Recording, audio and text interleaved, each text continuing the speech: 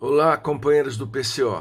Sou o Carniceca Neto, militante há quase 50 anos.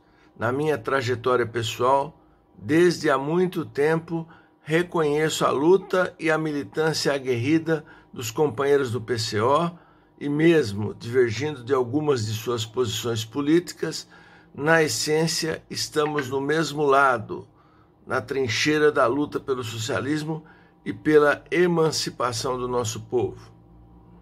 Ao PCO deve ser, ser assegurada a mais ampla liberdade de expressão e manifestação, e quaisquer atos que tentem coibir isto são arbitrários e antidemocráticos.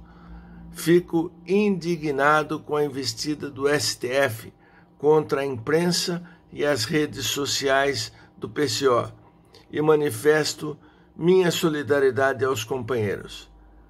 Tenho certeza que estaremos juntos nas próximas lutas, em especial na campanha eleitoral que se avizinha, e elegeremos Lula presidente contra a barbárie e o fascismo. Sou Carniceca Neto, militante do PCdoB em Araraquara, São Paulo.